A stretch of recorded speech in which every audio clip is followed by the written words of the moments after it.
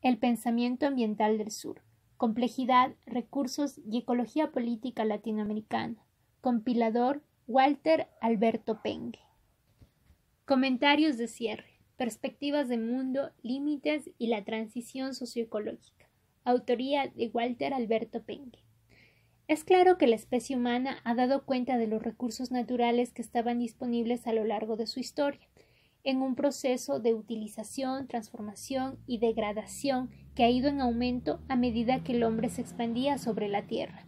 No obstante, no es lo mismo intensificar la transformación en espacios con amplitud relativa a la carga humana preexistente que hacerlo en una escala impredecible, como en los nuevos tiempos y según las formas de apropiación de los recursos que enfrentamos en este nuevo milenio. En este nuevo periodo de colonización humana de los territorios disponibles y ocupados por otros humanos menos favorecidos, parecería que no existen los límites. América Latina, en virtud de la actual expansión del uso sobre los recursos, puede dar cuenta de ello. Por ello, no es lo mismo el proceso de utilización de los recursos disponibles en un mundo vacío que en un mundo lleno, en los términos de Herman Daly, como el que nos encuentra hoy, no solo por la cantidad de personas, sino especialmente por sus pautas de consumo y demandas, así como también por el proceso de apropiación y transformación que enfrentamos en este periodo de globalización de recursos del mundo, no así de la libertad de movilidad de su gente. El mundo en especial el occidental y China pretende una globalización que se corresponde exclusivamente con el acceso y el aprovechamiento de los recursos naturales globales, como la tierra, el agua, el aire o los servicios y productos de la biodiversidad, pero se amuralla detrás de sus fronteras cuando los migrantes, ya sea por cuestiones ambientales, climáticas, políticas, religiosas o económicas, caen de a millares en los bordes de sus costas. Entonces aparecen los alambrados de púas y los cada día más altos muros de concreto. La historia del hombre se repite, y eso es lo malo de la historia. Explotación de recursos naturales y explotación humana vuelven a confluir y a demostrar la debilidad y la inequidad de un sistema mundo, tanto para los hombres como para las bestias. A la actual crisis ambiental se le suma una crisis de valores por las que justamente es el mundo económico imperante el que nos enfrenta a sus falencias ya graves y a sus distorsiones siguen funcionando simplemente porque no incorpora las externalidades, es decir, los costos sociales y ambientales que nadie quiere mensurar en su verdadera magnitud. Es claro que debemos cambiar de foco de mirada y particularmente abrir los espacios a la llegada de nuevas y refrescantes propuestas de cambio y perspectiva. Este agotamiento y degradación de recursos naturales y del entorno ambiental nos encuentra en este nuevo milenio frente a un importante desafío que implica distintas vías, en las que algunos apuestan a resoluciones tecnocéntricas, otros a un futuro sin salida y muchos otros a la búsqueda de una transición socioecológica que fomente una nueva humanidad que nos lleve por andarribieles de sustentabilidad en su sentido más fuerte. En los capítulos anteriores, varios autores han puesto su foco en la necesidad y la perspectiva de contar con una ciencia y una tecnología adecuadas a los tiempos que vivimos, es decir, una ciencia de la complejidad. Ya no es posible enfrentar los serios problemas socioambientales bajo el cristal de una única disciplina, por ello, la ciencia ambiental se focaliza en el, análisis complejo y en el estudio de los procesos y las tendencias que involucran hoy al hombre como sujeto y objeto de transformación integrado a un entorno cambiante.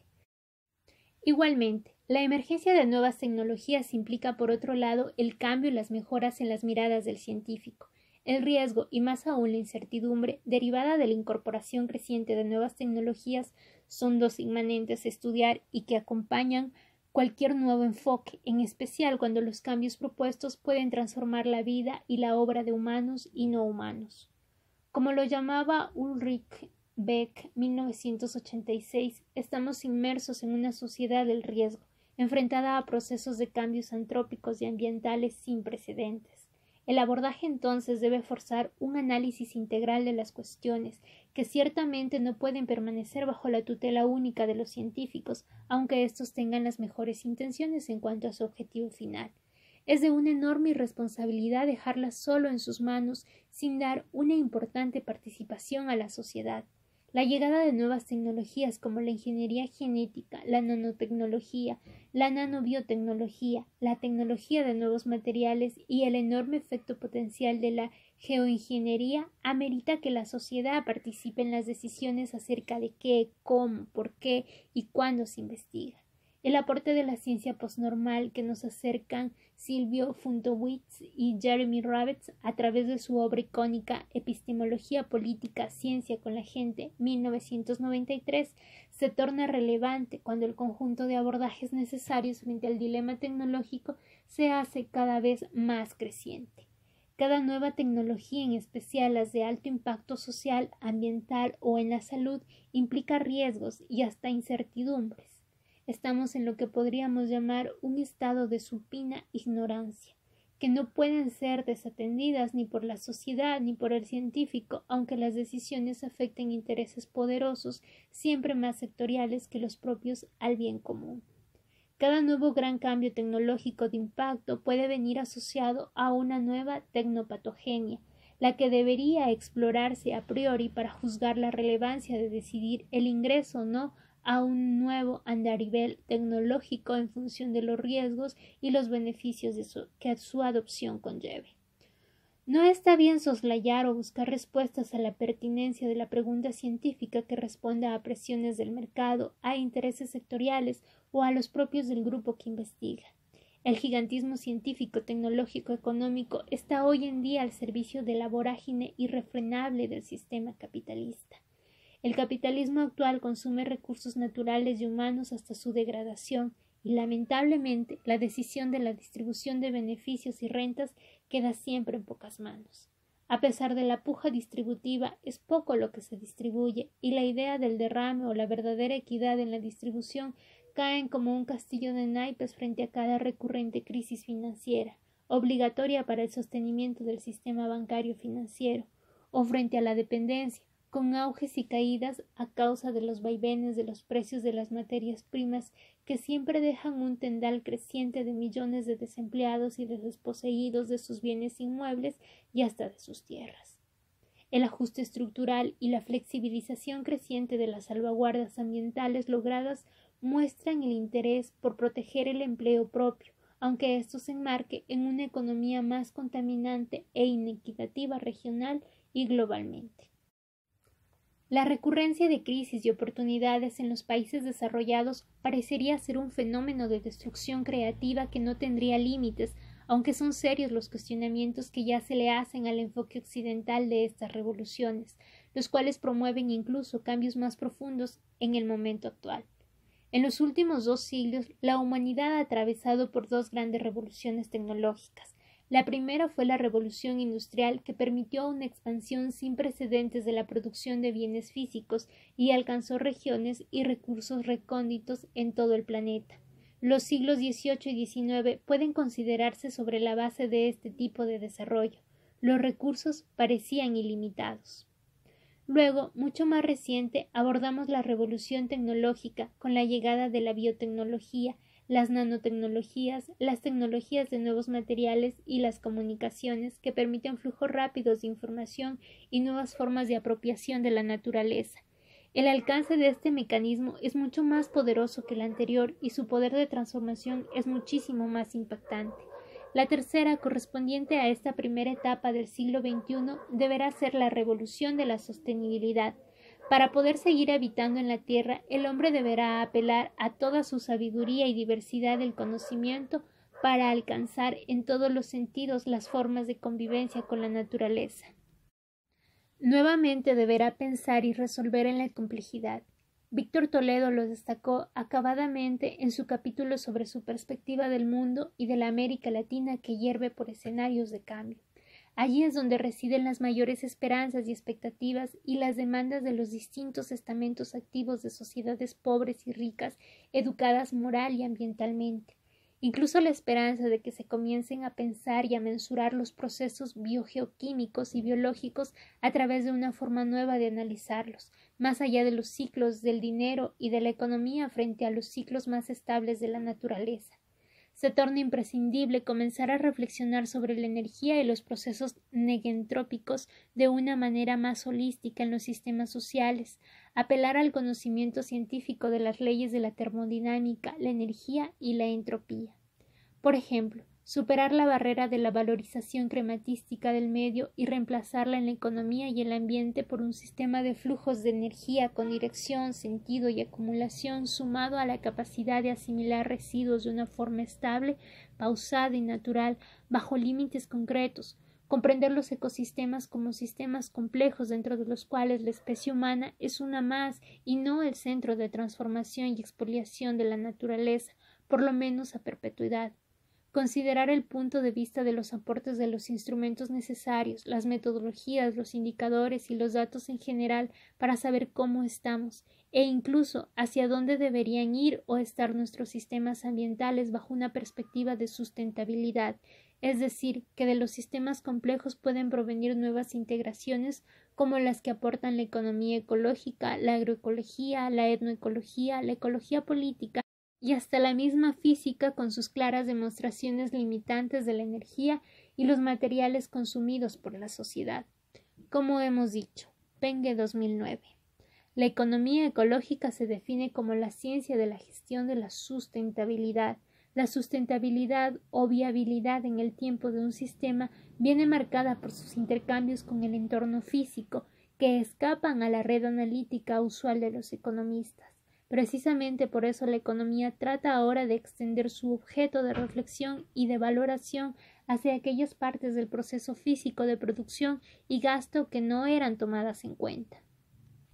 Para el destacado economista ecológico español José Manuel Naredo, el mercado deja de ser la panacea que suponía que debía garantizar por sí solo la optimización económica, para convertirse en un instrumento más a utilizar sobre bases controladas para conseguir soluciones que se adapten a determinados objetivos o estándares socialmente acordados, lo que empuja a abrir el universo hasta ahora aislado de lo económico a la realidad física y biológica y sus modelos predictivos a las diferentes opciones tecnológicas y a los procesos de negociación social.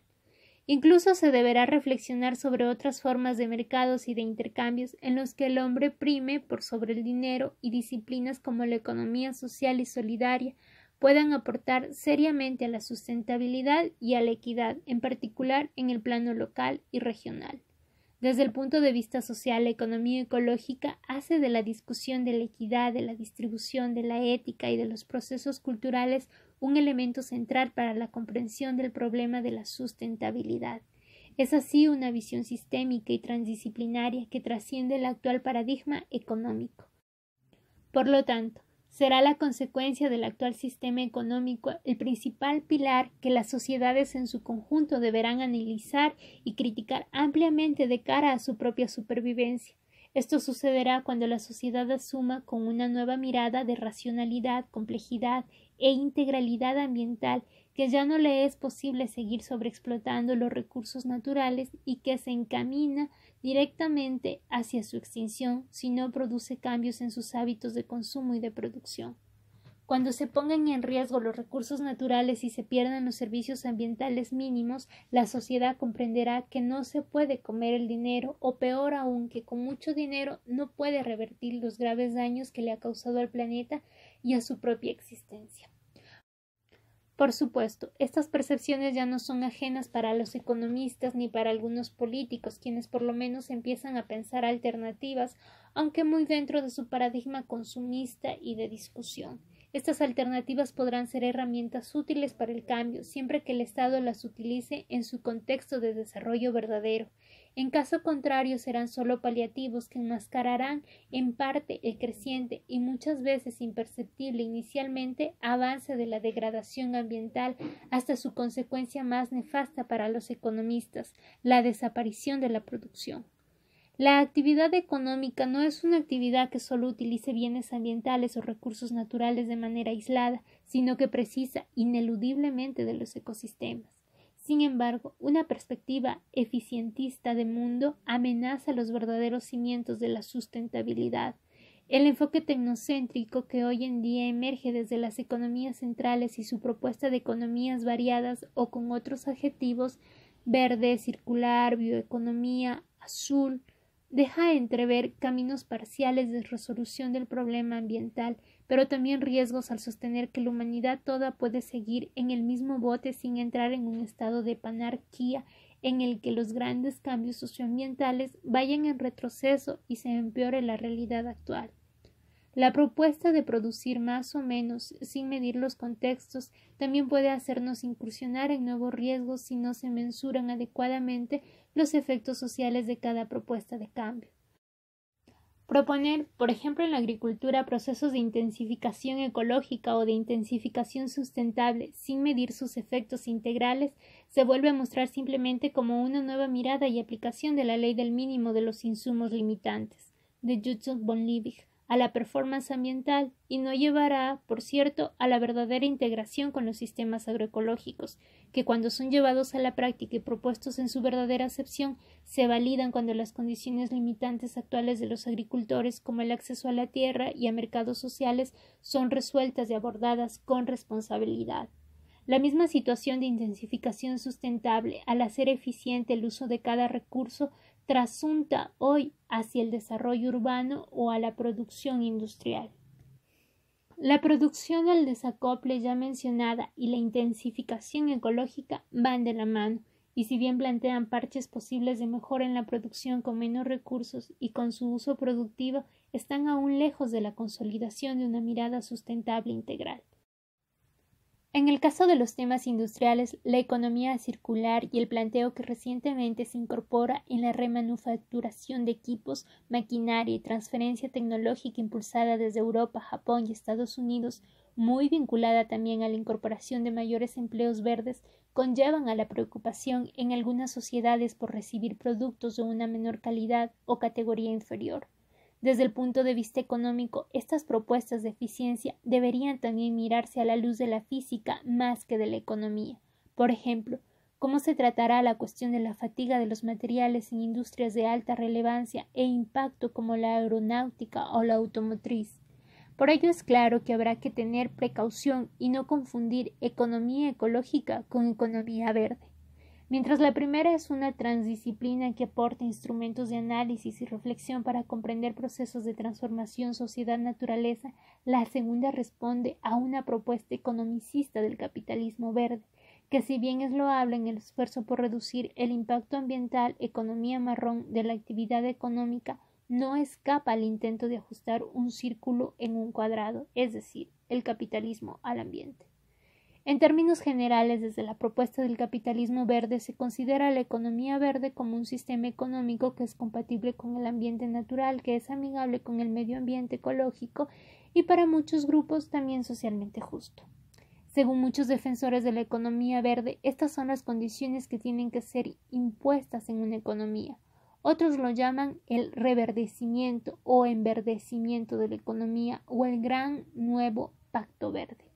Más allá de la intensificación sustentable, la perspectiva de la ecología productiva reviste una nueva propuesta regional que busca integrar los procesos naturales y sociales bajo los límites productivos de los propios sistemas ecológicos, sobre los que la ciencia y la tecnología pueden aportar mucho a la sustentabilidad de nuestra tierra, extraer como lo hacen todas las especies de la naturaleza, no más de lo que la naturaleza puede dar en términos de sus tasas de renovabilidad.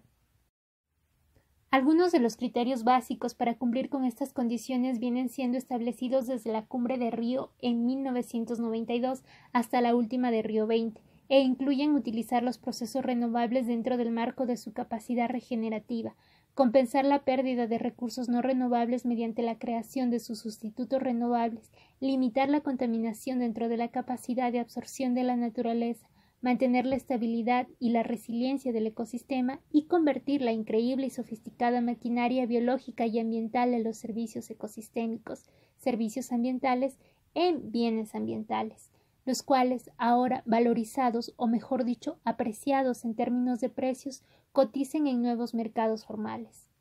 Los bonos de carbono son solamente un ejemplo conocido de algunas de las formas de volver a vender los servicios de la naturaleza y su conversión en un bien transable.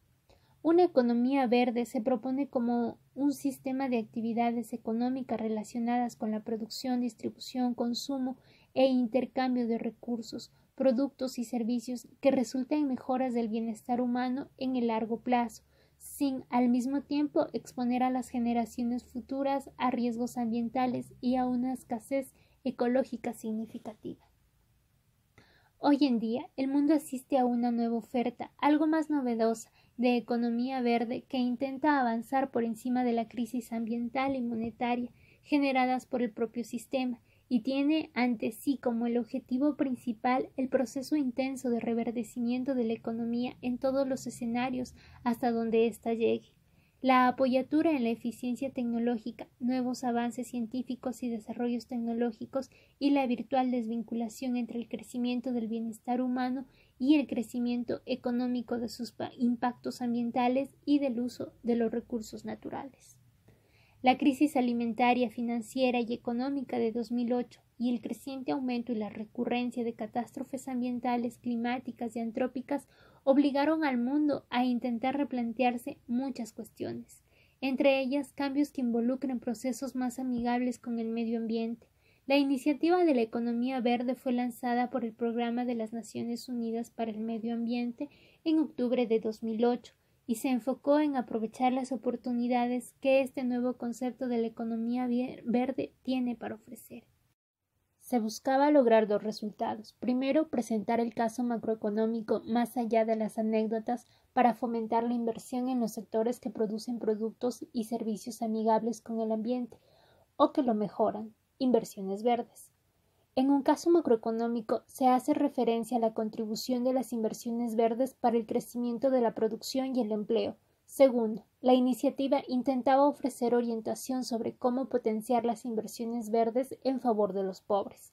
El objetivo era motivar y facilitar que los políticos apoyaran el aumento de las inversiones tanto en el sector público como en el privado. Tuvo también el objetivo de asesorar a los países para que reverdezcan sus economías, los cuales trabajaron con una gran variedad de socios para ofrecer análisis económico y productos de investigación de punta. El resultado abarca una gran cantidad de aspectos que van desde eficiencia energética en edificios nuevos y en los ya existentes, tecnologías de energía renovables como eólica, solar, geotérmica y de biomasa, tecnologías de transporte sostenibles como vehículos híbridos, ferrocarriles de alta velocidad y sistemas de buses de tránsito rápido, infraestructura verde de recursos naturales, incluyendo agua dulce, bosques y suelos, y agricultura sostenible, incluyendo la producción orgánica.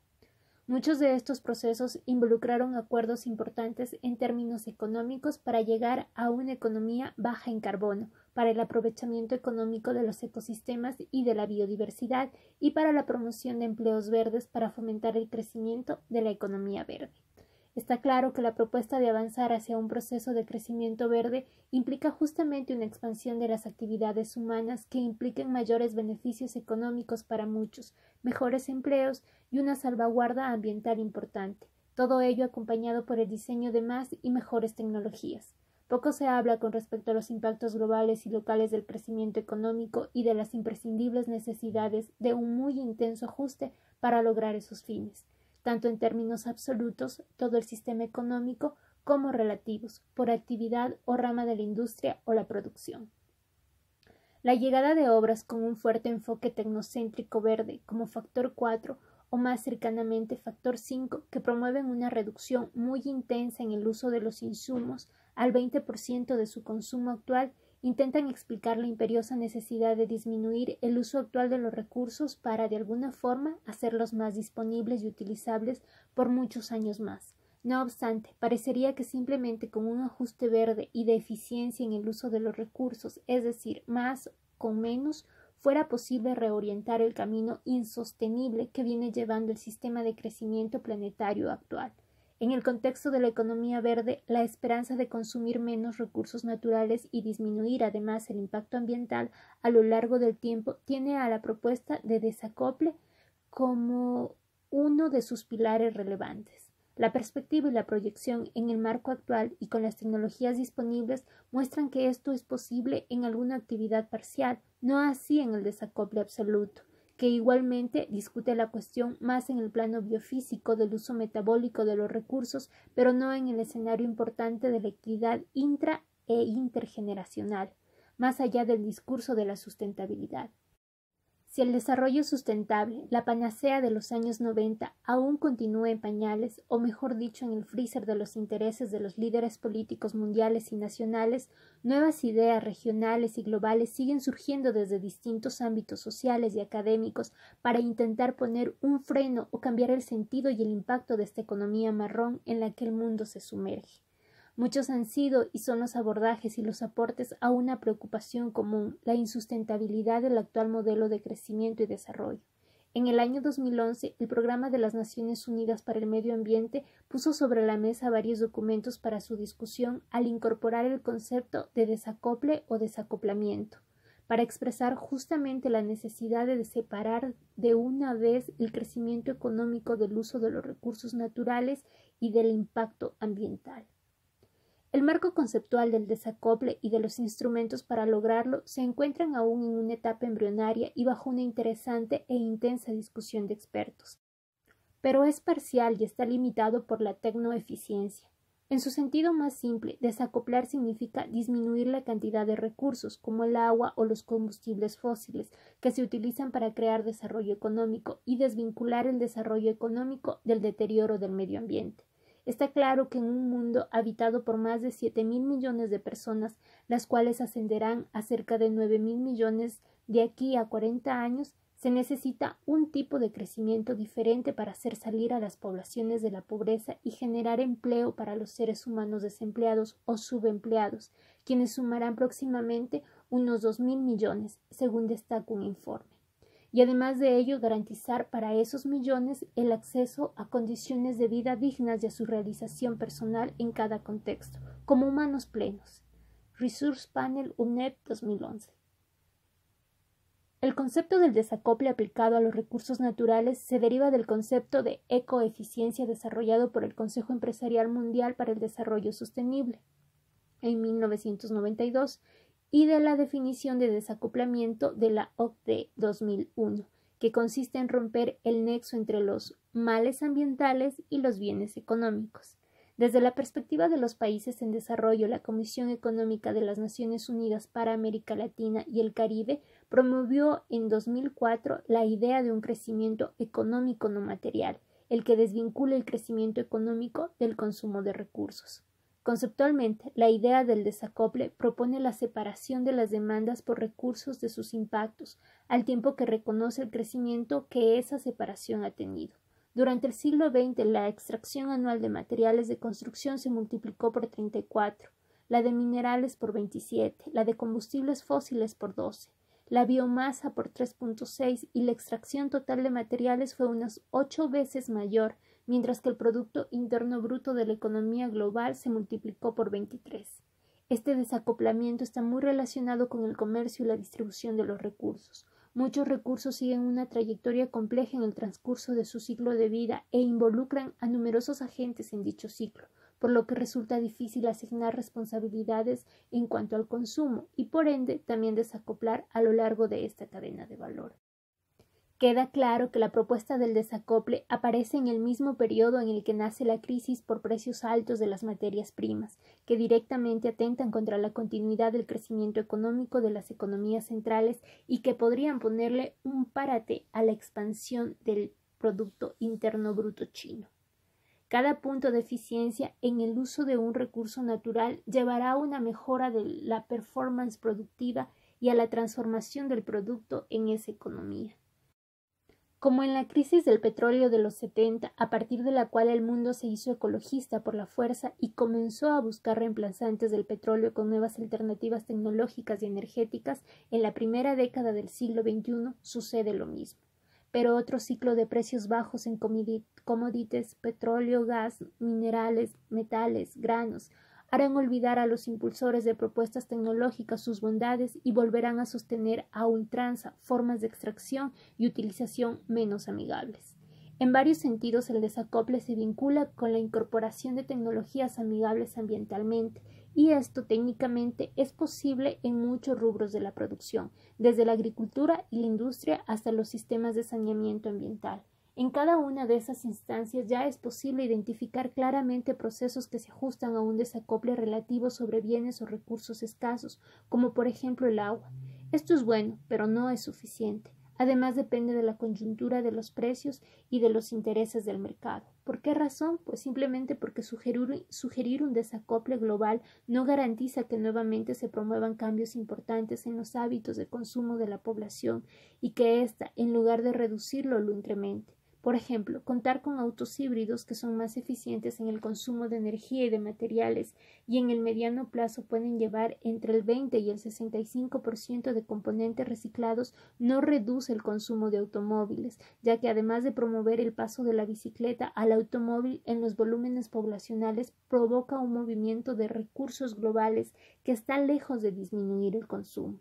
Lo que se necesita también es un cambio de visión sobre el eje del problema y revisar todo el sistema de transporte y de construcción social de las necesidades de consumo. Solamente más eficiencia ambiental, si bien es imprescindible y es mejor que nada, no garantiza un menor consumo, sino muchas veces más si consideramos que la famosa paradoja de Jevons Penge 2009 se muestra en toda su plenitud. América Latina se ha mostrado renuente, en general a la visión actual del norte y de China sobre su propuesta de economía verde. La experiencia acumulada de un subcontinente que ha sentido por un lado los devastadores efectos de los vaivenes en los precios de las materias primas y del intercambio desigual, y por otro lado la inequidad norte-sur en la costosa y muchas veces poco operativa tecnología ambiental la ponen en alerta y con razón, frente a una propuesta que parece responder más a la coyuntura de manera reaccionaria que a una construcción alternativa y estable, más allá de un determinado momento u oportunidad. Por otra parte, es muy justo reconocer que no todos promueven en el mundo desarrollado seguir avanzando y creciendo de la mano de una economía verde. Otra escuela del pensamiento ambientalista económico propone, aunque igualmente con una visión eurocentrista del mundo, una propuesta hacia el decrecimiento. Serge Latouche, economista y profesor en la Universidad de París, es uno de los promotores y defensores más conocidos del sistema económico del decrecimiento, desde el que propone reducir la huella del despilfarro, de la sobreproducción y del sobreconsumo. Aunque el decrecimiento tiene su fundamento teórico en pensadores del siglo XX, entre los que destacan el Club de Roma y en algunos abordajes el padre de la economía ecológica, Nicolás George Rogan, el concepto es también heredero de las corrientes de pensamiento antiindustriales del siglo XIX, lideradas por Henry David Thoreau 1817-1862 en los Estados Unidos y por Lev Tolstoy 1828-1910 en Rusia, con su crítica del Estado y la importancia de la libertad individual. En la Europa de principios del siglo pasado en Inglaterra, John Ruskin y el movimiento artístico y de los artesanos 1819-1900 reclamaban en plena época victoriana la primacía del ser humano sobre la máquina y oponían la creatividad y el arte a la producción en serie. Actualmente visiones como las de Bandana Shiva en la India o Arturo Escobar en América Latina promueven cuestiones similares. Asimismo, el interés por articular lo individual y lo colectivo se hace eco de los escritos de Gandhi y su reflexión del lugar de cada persona en la sociedad. Su interpretación se acerca a la práctica de la vida sencilla. Necesitamos vivir simplemente para que otros puedan simplemente vivir. En su libro Las normas para la vida india realiza una crítica al desarrollo y a la noción misma de civilización, representada por Gran Bretaña y los occidentales. Gandhi muestra que cada progreso alcanzado implica una agravación de las condiciones de vida y que la civilización occidental deja de lado la moralidad y la religión y crea nuevas necesidades relacionadas con el dinero, imposibles de satisfacer, y que aumenta por lo tanto las desigualdades. En el libro La ley entrópica y el proceso económico 1971, Nicholas George K. Rogan enuncia la teoría sobre la bioeconomía no confundir con la bioeconomía de la actual propuesta europea. Allí establece que se cimenta el decrecimiento de los consumos irracionales conjuntamente con la economía verde que acompaña en este objetivo a las sociedades modernas. Otros autores avanzaron en sus críticas hacia el modelo de industrialización focalizando en el consumismo. Ya desde los albores de la década del 50, Gunther Anders, La obsolencia del hombre, 1956, Hannah Arendt, Condición del hombre moderno, 1958, y el Club de Roma, principalmente a través del informe Meadows de 1972, hablaron sobre los límites del crecimiento. Un nuevo informe, informe 2052, un pronóstico global para los próximos 40 años de George Randers de Club de Roma, cuestionaba la capacidad de la humanidad para sobrevivir si ésta no cambia radicalmente de dirección. El decrecimiento inicia su expansión europea en Francia durante los años 90. Teóricos como Serge Latouche, Vincent Schreinet y François Snide aportaron con sus investigaciones y su base teórica a la consolidación de la discusión entre los economistas heterodoxos y otros cultores de los estudios sobre la sociedad moderna y su ambiente, entre ellos varios economistas ecológicos como Joan Martínez Saller. Muchas de las indagaciones fueron publicadas en la revista Silence entre 1993 y 2002, así como también en el periódico semanal La Décroissance y en el libro Objetivo de Crecimiento de 2003. Ese mismo año se crea el Instituto de Estudios Económicos por el Decrecimiento Sustentable, del que es presidente Serge Latouche, el ideólogo actual más reconocido del decrecimiento.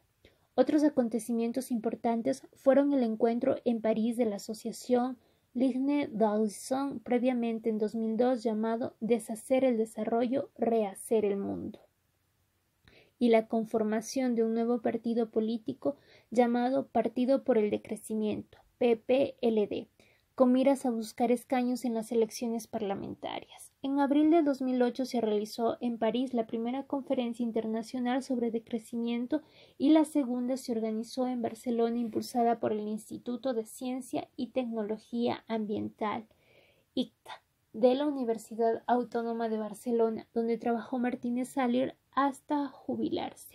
El think tank de la economía ecológica española en marzo de 2010. En Europa, las ideas sobre el decrecimiento tienen cada vez mayor espacio entre los académicos críticos del modelo hiperconsumista actual. El decrecimiento es entendido como una corriente de pensamiento político, económico y social favorable a la disminución regular y controlada de la producción económica con el objetivo de establecer una nueva relación de equilibrio entre el ser humano y la naturaleza, pero también entre los propios seres humanos rechaza el objetivo del crecimiento económico del liberalismo. Dice Serge la consigna del decrecimiento tiene como meta sobre todo insistir fuertemente en abandonar el objetivo del crecimiento por el crecimiento. Si utilizáramos una palabra precisa, convendría más hablar del acrecimiento, tal como hablábamos de ateísmo. Por ello también se suelen denominar objetores de crecimiento. De alguna manera, los críticos enfocados en el decrecimiento construyen su discurso sobre los límites, la bioeconomía y una cierta idea de posdesarrollo que implica, por supuesto, un cambio radical del sistema económico y social occidental. Según la propuesta del decrecimiento, la conservación del medio ambiente no sería posible sin reducir la producción económica, que es la responsable de la reducción de los recursos naturales y de la destrucción del medio el cual actualmente estaría por encima de la capacidad de regeneración natural del planeta. Además, también cuestiona la capacidad del modelo de vida moderno para producir bienestar. Por estas causas se oponen al desarrollo sostenible. La idea de vivir mejor con menos subyace a la discusión del decrecimiento, hecho que incorpora por lo tanto un sistema de valores que no necesariamente se reconoce en el actual sistema de ventas y del consumismo, aunque sí se habla de una producción controlada, sin discutir claramente dónde están y cuáles son los límites.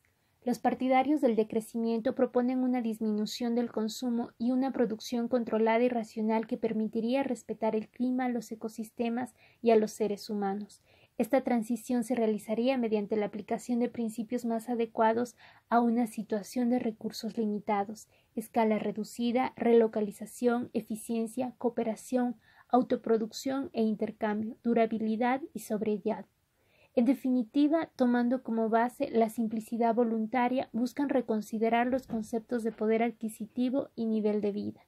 No obstante, no revisa en profundidad sus limitaciones, cómo y dónde vivir en una sociedad en la que el hiperconsumo es la norma y cómo construirse en pequeñas islas de decrecimiento en un mar de crecimiento.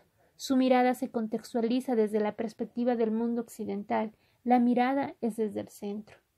Los actuales movimientos europeos que responden a las crisis económicas de 2008, 2011 y 2015 tampoco, y particularmente los jóvenes, han sido parte importante de estas ideas. Incluso el movimiento de los indignados, reconvertidos hoy dentro de las estructuras políticas tradicionales en Podemos, para el cual el eje de la discusión se ha circunscrito básicamente a una sana promoción de nuevas ideas para la definición de políticas de empleo y más crecimiento vuelve a preocupar con fuerza nuevamente el empleo en Europa, muy por encima del ambiente.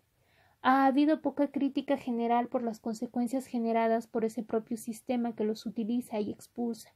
Economía verde, metas del milenio hasta 2015, metas del desarrollo sustentable luego de 2015.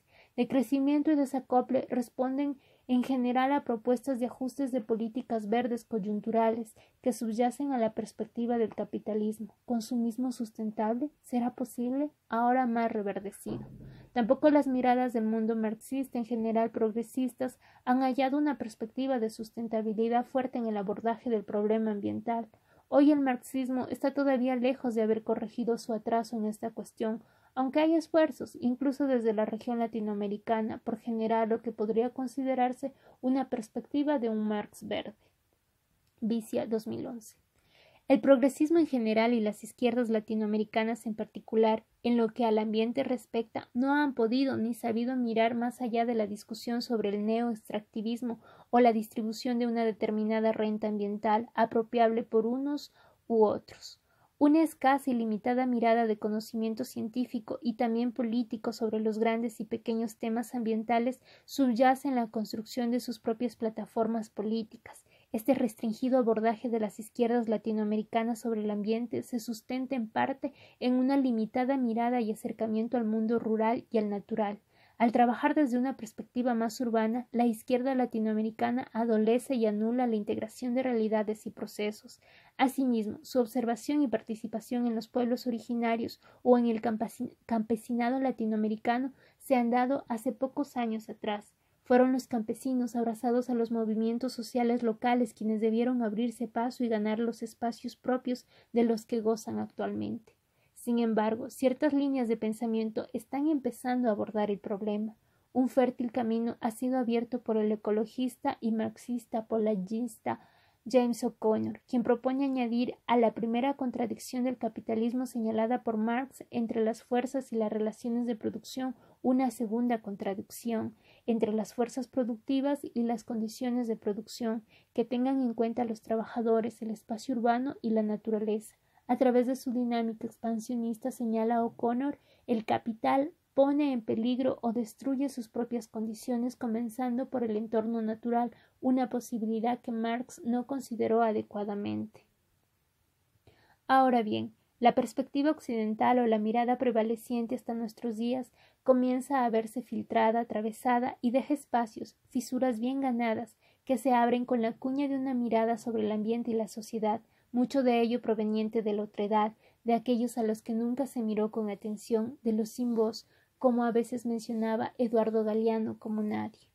Si el decrecimiento se ha expandido básicamente en Europa, ancestralmente en América del Sur y particularmente en el Oriente tradicional, la percepción de la sociedad y su entorno natural tienen un acervo social mucho más amplio y profundo. Muchos de los reclamos sociales y de los intelectuales se sustentan en una fuerte crítica a los planteos y a los modelos de desarrollo, a la propuesta de una mirada del mundo en la que quepan muchos mundos, en la que la diversidad ambiental y cultural sea el paño en el cual el mundo pueda mirarse. La idea básica de vivir bien implica simplemente eso, vivir bien, desarrollar las plenas capacidades de cada humano y su sociedad en su propio entorno y contexto a lo largo de procesos de adaptación, transformación y mejora socioambiental. Las comunidades indígenas de Abyayala, América, defienden el concepto del buen vivir en oposición al de vivir mejor, como un modelo de vida o de desarrollo propio, endógeno, sostenible. Se abre con especial fuerza en América Latina hasta el punto en que recientemente Ecuador y Bolivia han incluido el buen vivir en sus respectivas constituciones como el objetivo social a ser perseguido por el Estado y por toda la sociedad. En oposición al vivir mejor occidental, al siempre vivir mejor de la lógica neoliberal, el buen vivir propone un modelo de vida mucho más justo para todos, según la visión de muchos en los países en vías de desarrollo, para que unos pocos vivan mejor, que es lo que sucede ahora en el primer mundo. Para asegurar esas desmedidas demandas de consumo y despilfarro, tiene que existir un tercer mundo que provea de materias primas y mano de obra baratas. Muchos, en definitiva, tienen que vivir mal para que unos pocos vivan bien. El buen vivir se propone, en cambio, como un modelo muchísimo más equitativo. En vez de propugnar el crecimiento continuo, busca lograr un sistema que esté en equilibrio, en lugar de atenerse casi exclusivamente a los datos referidos al Producto Interno Bruto u otros indicadores económicos. El buen vivir se guía por conseguir y asegurar los mínimos indispensables, lo suficiente para que la población pueda llevar una vida simple y modesta, pero digna y feliz. Una línea de dignidad de vida humana, Pengue 2016, que, que sea realizable para todos los humanos, una línea de base que permita el desarrollo pleno del hombre y no de la economía en sí misma una propuesta interesante que se incorpora con fuerza de ley en nuestros días en varios estados plurinacionales. Los pueblos de la América Andina han enarbolado la idea del summa causa o buen vivir como un paradigma para construir colectivamente un nuevo régimen de desarrollo que reproduzca la vida amenazada por la crisis global ambiental y anteponerlo a los proyectos insostenibles que promueven muchos gobiernos y grupos transnacionales. Hay un consenso social que se sostiene en la necesidad de comprender cabalmente el buen vivir, y ahí encuentran una oportunidad para la construcción de sociedades verdaderamente democráticas, que no solo reúnan las propuestas de los pueblos y nacionalidades indígenas, sino también de los amplios y mayoritarios sectores de la población no indígena. El suma causa expresa para los pueblos indígenas una ruptura con el sistema económico mundial expresado en la actualidad en el modelo neoliberal y representa una alternativa en la medida en que replantea las relaciones entre los seres humanos y la naturaleza. El buen vivir propone un nuevo horizonte de vida y una alternativa frente a la noción monocultural de la actual civilización occidental. Suma causa Suma camaña y buen vivir son tres conceptos que significan en general lo mismo, aunque cada cual situado en su contexto presenta algunos matices diferenciadores. Suma causa y proviene del quechua ecuatoriano. No es quechua, es quichua ecuatoriano. Quechua, Perú. Quichua, Ecuador. Y expresa la idea de una vida ni peor ni mejor que la de los otros, ni un continuo desvivirse por mejorarla, sino simplemente una vida buena. Su macamaña corresponde al aymara boliviano e introduce el elemento comunitario, por lo que tal vez se podría traducir como buen convivir, la sociedad buena para todos en suficiente armonía interna. Por su parte, el buen vivir en las diversas lenguas de los países centrales suele hacer referencia básicamente a las cuestiones meramente monetarias, crematísticas y al disfrute individual material hedonista e incesante un somero repaso al modo con que los medios y los individuos utilizan estas palabras buena onda, vida sana, vida natural, buena vida, vivir bien, lo confirmaría. Es decir, la idea conceptual de lo que significa vivir bien para el hombre indígena y para el hombre occidental es prácticamente un opuesto en términos de vida y abordaje. Lo que tiene de particular el suma causa y el suma camaña es que ahora mismo, luego de una enorme lucha de los pueblos originarios, de las comunidades campesinas y de las organizaciones sociales rurales y urbanas y de la aceptación de estas instancias y los mandatos de sus representantes, han logrado su instauración en las respectivas constituciones políticas aprobadas recientemente.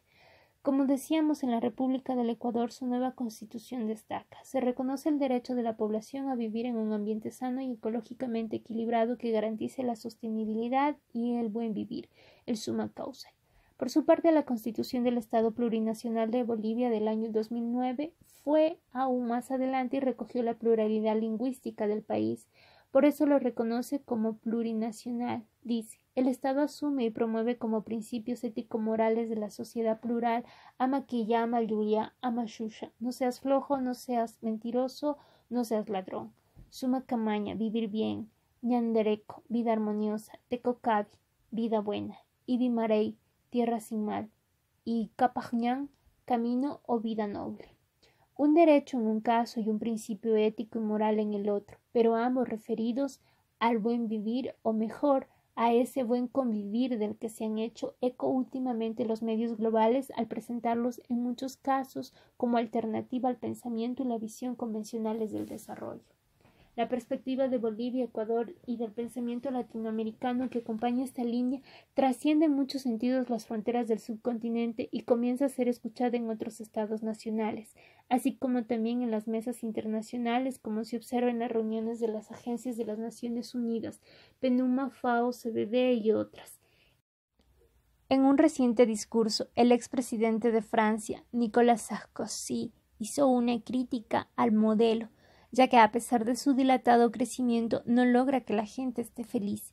Quizás lo haya dicho para congraciarse con sus adeptos, ya que según estudios de mercado realizados por Estados Unidos desde la década del 70, a pesar del crecimiento en el consumo, las personas perciben que su calidad de vida, su alegría de vivir, se deteriora día a día.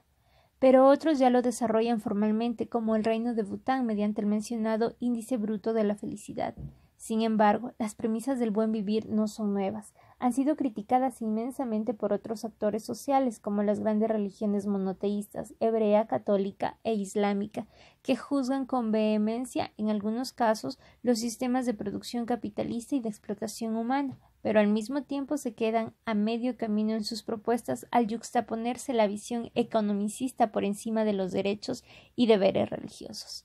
Sin embargo, el llamativo esfuerzo del Papa Francisco mediante su última encíclica Laudato Si, referida en forma directa al cuidado del medio ambiente, se ha convertido en mucho más que ello.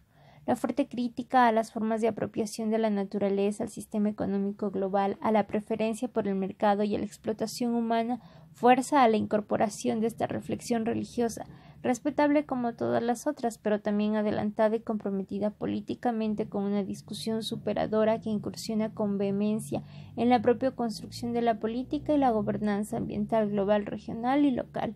El Papa se convierte así en un actor clave en la discusión sobre la ecología política, sobre el sistema tecnocrático y sobre el endiosamiento del dios mercado, el hombre y los recursos son engranajes de un modelo capitalista que simplemente los explota. El efecto del planteo del Papa no es menor y se suma al enorme aporte que América Latina ha hecho al mundo en la búsqueda de caminos alternativos de sustentabilidad de vivir bien. Evidentemente, la propuesta del buen vivir planteada desde los pueblos originarios latinoamericanos o de la búsqueda por vivir simplemente bien de las sociedades urbanas encuentra un eco muy especial tanto en nuestros espacios como en el interés de quienes miran a la región desde fuera. Al respecto, en una reunión sobre pensamiento ambiental, Víctor Toledo nos decía el buen vivir está en todas las culturas indígenas del mundo, implica convivir con el mundo natural y vivir de manera comunitaria, y la capacidad del ser humano para compartir, para cooperar, para colaborar con el otro, que es justamente la antítesis del mundo moderno en el que se privilegia el individualismo y la competencia. No podemos negar el mundo moderno con todo lo que nos da, pero a lo que se quiere llegar es a una modernidad alternativa, porque el pecado de la modernidad actual es que se ha erigido sobre la destrucción de las tradiciones. También crítico con las miradas del desarrollo, sean del buen o del mal desarrollo, Julio Carrizosa resaltaba en el mismo encuentro. El buen vivir puede reemplazar a los objetivos del desarrollo, al Producto Nacional Bruto. Pienso que puede existir el buen vivir sin desarrollo. Fue Manfred Maxniff quien marcó una línea muy clara desde América Latina respecto de las necesidades y los satisfactores. Destacó además cuáles eran las necesidades básicas humanas y sus diferencias en relación con la cultura, el entorno, los medios y la sociedad en la que cada uno se desarrolla. La necesidad puede ser muchas veces la misma. La diferencia crucial reside entonces en la forma de satisfacer esa necesidad básica. No es lo mismo cuando una madre amamanta a su hijo que cuando lo hace una máquina. Cada sistema económico, social y político adopta diferentes estilos para la satisfacción de las mismas necesidades humanas fundamentales. En cada sistema éstas se satisfacen o no a través de la generación o no de diferentes tipos de satisfactores. Uno de los aspectos que definen una cultura es su elección de satisfactores. Como destaca Max las necesidades humanas fundamentales de un individuo que pertenece a una sociedad consumista son las mismas del que pertenece a una sociedad ascética. Lo que cambia es la cantidad y la calidad de los satisfactores elegidos y las posibilidades de tener acceso a los satisfactores requeridos. Lo que está culturalmente determinado no son las necesidades humanas fundamentales, sino los satisfactores de esas necesidades. Por otro lado, para aclarar conceptos y separar cuestiones, Gilberto Gallopín en un encuentro en Buenos Aires marcaba una diferencia clave que muchos políticos y decisores no comprenden cabalmente, mientras que a la vez se preguntaba seriamente sobre la perspectiva planteada en el buen vivir y su viabilidad. Nos decía Creo que hay una confusión deliberada y es que el concepto de desarrollo nunca fue sinónimo de crecimiento económico. Este es uno de los instrumentos. Desarrollo es un despliegue cualitativo de potencialidades. Puede haber desarrollo con crecimiento económico, con crecimiento económico no material y sin crecimiento económico. Pero ¿podemos hacer buen vivir sin crecimiento económico con la cantidad de gente que hay? Es improbable pasar a un ecocomunalismo. No veo factible plantear el buen vivir sin desarrollo, ni que sea socialmente muy aceptable.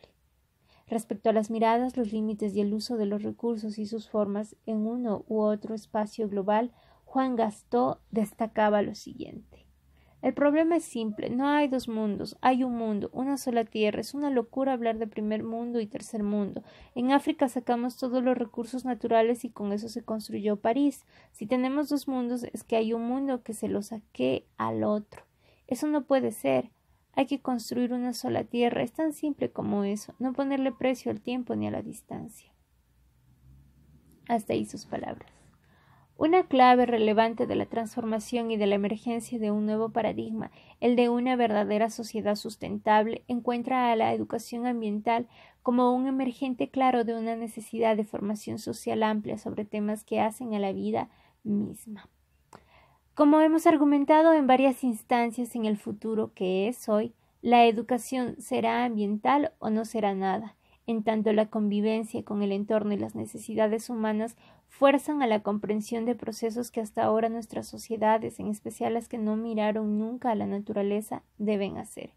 Es así que la educación ambiental acompaña un proceso de formación en derechos en el que los derechos de la naturaleza emulen a los derechos humanos, puesto que las necesidades de existencia de unos y otros nutren el encuentro de ambas necesidades, las de la sociedad y las de la naturaleza. No puede haber una sociedad más justa sin una naturaleza que la contenga. No se puede tener más derechos, más educación formal y más salud cuando la gente vive sobre montañas de basura y contaminación. Destacaba Bernardo Aguilar que esta educación ambiental debería ser radical, quizás pensando un poco en nuestro querido Paulo Freire. No es posible pensar una sociedad sin su ambiente, su entorno y sus recursos, incluso si se piensa en el sentido directo de la utilización. Las sociedades necesitan de sus recursos y de un entorno amigable con la vida, si no, literalmente, sobreviven solo para luego morir. La naturaleza, por otro lado, no necesita del hombre para su existencia. La humanidad sí, aunque muchos investigadores piensan que el entorno y los recursos son un marco que parecería instalado de manera permanente.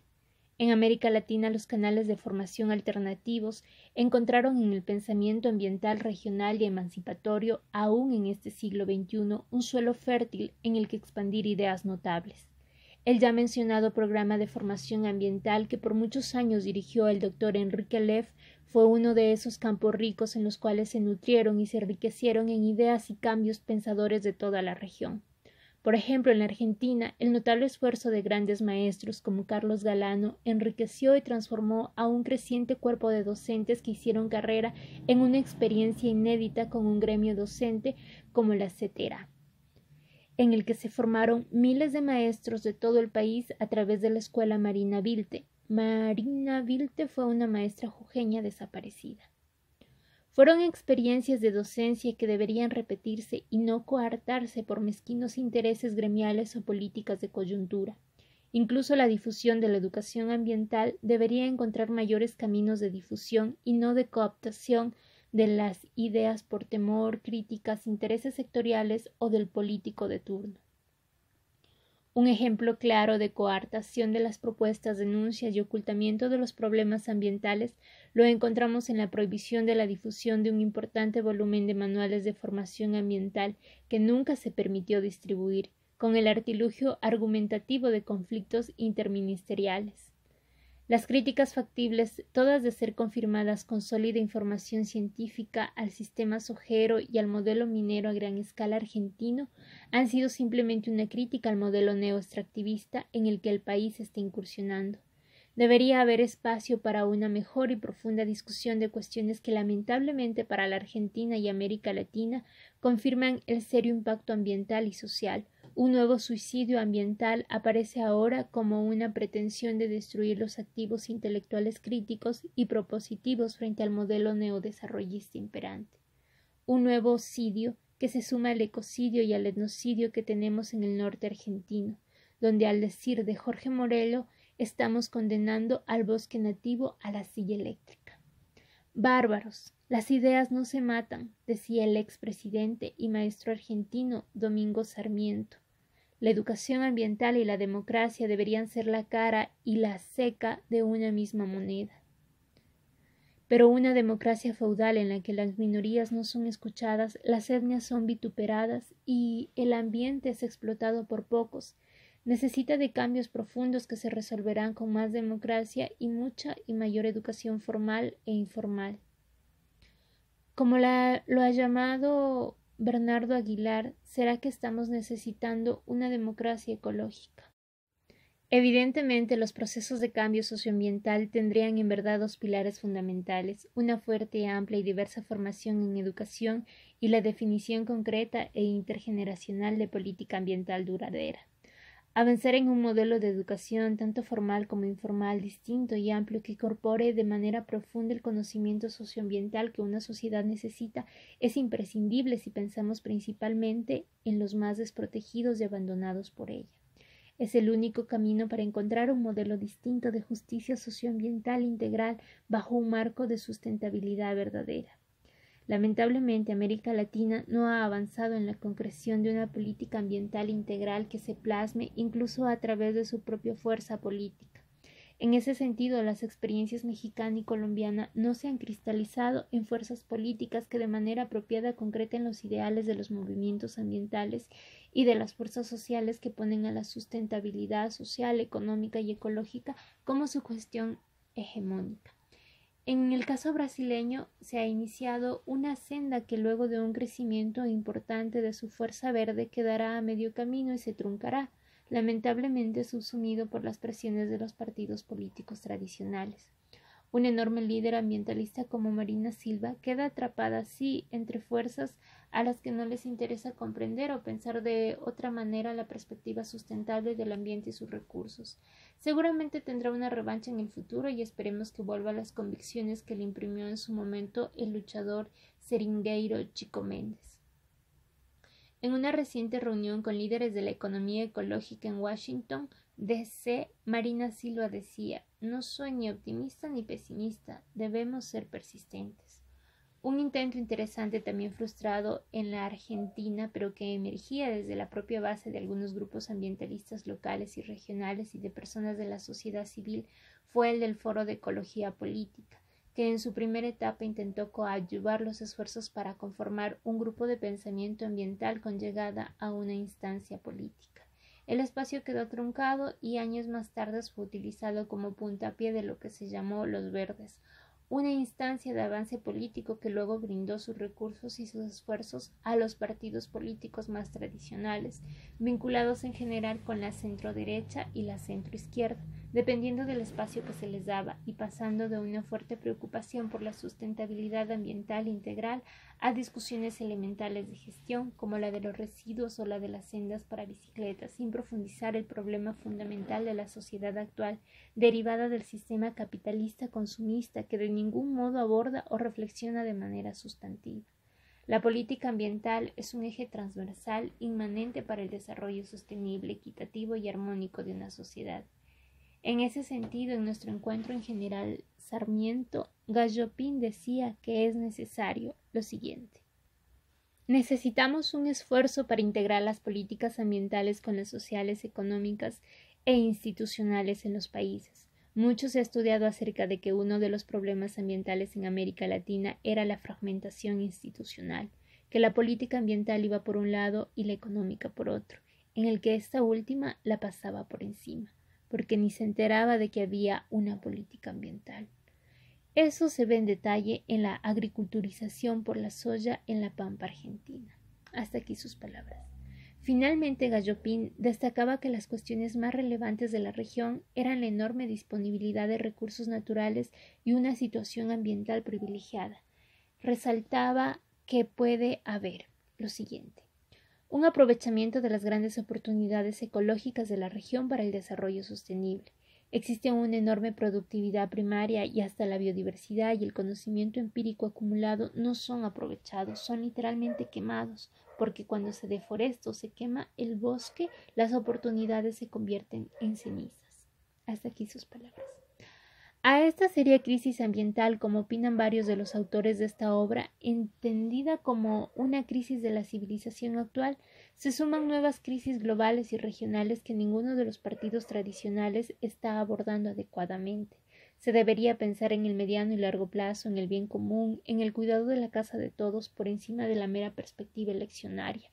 Así lo advertía Víctor Manuel Toledo a su paso por el encuentro de Buenos Aires. Una idea que nos permite interpretar esto es que estamos en una crisis de civilización, una crisis múltiple, que implica un salto epistemológico, social, cultural, individual, institucional. Esta crisis de la civilización moderna, industrial, tecnocrática, capitalista, nos permite explicar todo esto, y no podemos desligar la problemática local de la problemática global. Estamos viviendo el paroxismo, el cenit del capitalismo y del capitalismo corporativo. Estamos viviendo bajo una dictadura corporativa. En los últimos años las grandes corporaciones, las 25 más ricas del mundo, siguen ganando más, más y más y prácticamente no va a haber nada que no esté monopolizado. Hoy todo está monopolizado, incluso los gobiernos y las instituciones políticas. Hoy la política de izquierda y de derecha está reducida a los intereses de las corporaciones. Clarísimo. Los gobiernos progresistas están sometidos a aceptar nuestras tesis o a plegarse a las presiones de las grandes empresas.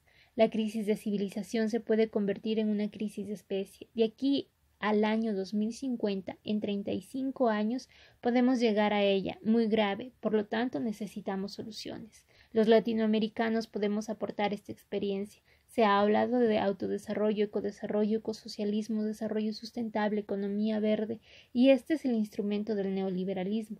Desgraciadamente, el PENUMA se ha puesto al servicio de las grandes corporaciones. En América Latina tenemos un enorme potencial para liderar esas transformaciones civilizatorias y los grandes aliados de esta propuesta, de esta modernidad alternativa, serán no solamente nuestras grandes riquezas naturales, sino también nuestras culturas indígenas. Hasta aquí las palabras de Víctor Manuel Toledo. Claramente estos pueblos, a través de procesos temporales de conocimiento, comprenden perfectamente la necesaria integración del sistema sociedad-naturaleza, Repetimos, la cuestión ambiental entiende a los procesos como sistemas complejos. No es solo la degradación ambiental o la apropiación de los recursos naturales lo que cuenta, sino también los intricados motivos que dan con su explotación, privatización, estatización y, en definitiva, degradación que se plantea en los nuevos escenarios de América Latina. La política que se lleva o no adelante es directamente responsable de ello. A estos procesos se incorporan ahora nuevas amenazas que la región no enfrentaba cuando se escribió décadas atrás, como varios lo han mencionado, nuestra propia agenda. Se agregan ahora la explotación y el tráfico humano, la comercialización de especies y de la vida, la explotación y degradación infantil, el tráfico de órganos, la explotación en todas sus formas, semillas, tejido, material genético, con fines desconocidos. El tremendo efecto de la corrupción y la narcopolítica, sumado a los impactos de los nuevos fanatismos y extremismos que hoy actúan globalmente, pero cuyos impactos ya comienzan a afectar de forma directa e indirecta a toda la región. Grandes extensiones vacías, recursos disponibles, accionar de grupos económicos poderosos y emigración rural y de pueblos enteros hacia las grandes ciudades dejan detrás territorios vacíos en los que se permiten explotaciones de recursos de manera totalmente insostenible, ecológica y socialmente. Esta perspectiva de uso del territorio para la explotación y la simple puja distributiva tiene a la mayoría de los países de la región como periferias en las que se nutren de recursos las nuevas potencias mundiales, como lo hacen principalmente China e históricamente Europa, Japón, Estados Unidos, Canadá y Australia. Los planes de explotación y expansión territorial para dar salida a productos mineros, petroleros y de producción agrícola encuentran a la banca y a las empresas chinas como los principales accionarios capitalistas que determinan las reglas, las condiciones de trabajo, el personal contratado, la logística y la transferencia tecnológica. Algo inédito hasta ahora. Las empresas transnacionales occidentales utilizaban en general fuerza de trabajo local, al menos en las instancias de menor responsabilidad. Estos temas no han encontrado solos a los autores de esta obra, sino que América Latina ha dado y continúa dando un cúmulo de analistas e investigadores que parados en distintas disciplinas incursionan desde diferentes abordajes sobre la problemática descriptiva. El enorme aporte de Carlos Galano al pensamiento ambiental latinoamericano que promueve cambios en la formación docente ha tenido un impacto sin precedentes tanto por su duración como por su llegada. Se suman también muchos otros autores desde distintas vertientes y regiones, como Antonio Elizalde, Henry Asselrod, Ryan Quiroga, César Morales, Jacobo Chantán, Maristela Esvampa, Carlos Larrea, Roberto Guimaraes, Guillermo Castro Herrera, Giancarlo Delgado Ramos, Eduardo Gudinas, Walter Porto González, Mario Pérez, María Luisa Esquejehagen, Sara Larraín, Gidelbrando Vélez Galeano, José Vargas Hernández, Leticia Durán, Fernanda Figueroa, Mauricio Guzmán, Manuel Baquedano, Gustavo Portocarreno, Héctor Leis, Aníbal Quijano, David Barkin, Andrés María Marín, Peter May, Clovis Cavalcanti y tantos otros.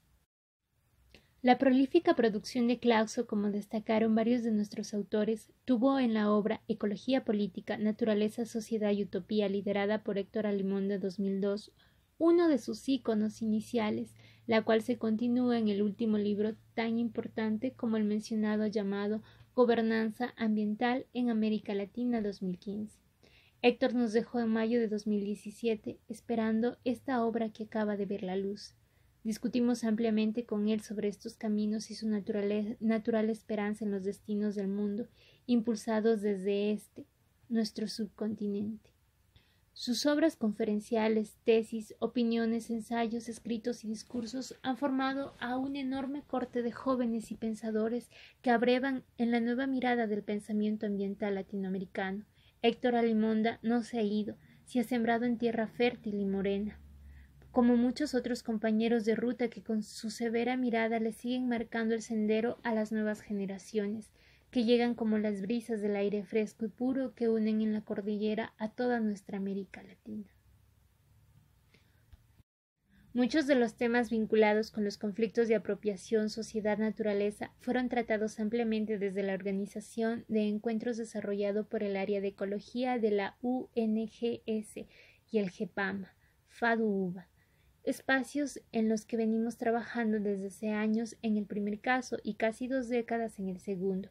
Así fueron organizadas las cuartas jornadas de la Asociación Argentina Uruguaya de Economía Ecológica, ASA-UEE, 2009, de Agroecología, el Congreso Internacional de Ecología Urbana 2012 y el reciente Congreso Latinoamericano sobre los Conflictos Ambientales, COLCA 2014 todas actividades exitosas desde el punto de vista de la avidez de los investigadores y de la sociedad civil por discutir e instalar estos cruciales temas de sustentabilidad regional.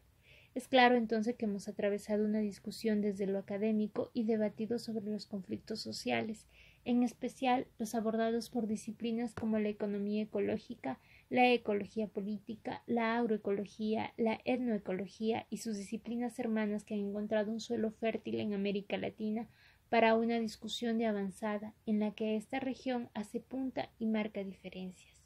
No obstante los avances en las discusiones sobre los conflictos, no encontramos aún un escenario de respuestas adecuadas y profundas.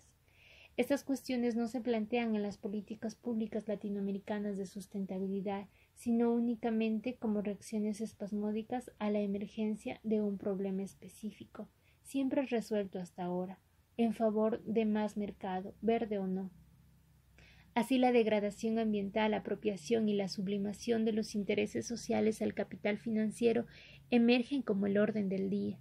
Aquí es entonces donde reside una de las cuestiones pendientes de la región, lograr una transición socioecológica que le permita aprovechar para su beneficio actual y de sus generaciones futuras las enormes oportunidades ambientales y humanas que América del Sur representa. Es claro que esta instancia se logrará cuando el componente ambiental forme parte de las agendas de discusión de las más altas esferas políticas, así como también de todos los representantes de la sociedad, y cuando emerja, además de la protesta de los movimientos sociales y ambientales, la propuesta política que permita concretar muchas de las demandas que la sociedad, aún hoy desarticulada, manifiesta pero que no logra encauzar ni plasmar en la construcción de un nuevo poder, el poder de la sustentabilidad. En definitiva, el planteo político institucional de construcción de una mirada del poder social que se apoya en los ricos recursos naturales y humanos disponibles y que impulse una mejora de la vida inmediata de la generación actual, de las futuras generaciones y de su ambiente, con beneficios para sí misma y entonces sí también para el mundo, para que éste no mire solamente a América Latina con avidez, sino también con respeto.